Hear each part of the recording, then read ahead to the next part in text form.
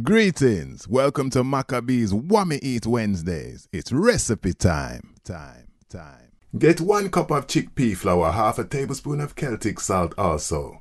Olive oil and the cold water. Mix them in a bowl and make into a dough.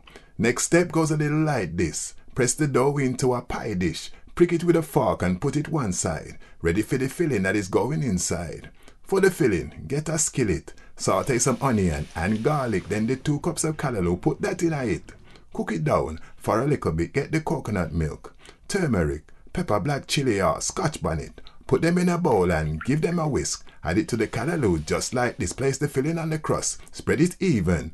The next step, put it in the oven. Bake for half an hour till the filling is set and the crust is slightly golden.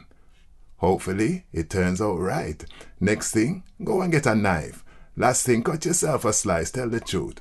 It tastes nice. How want me eat Wednesdays? Yes, I am.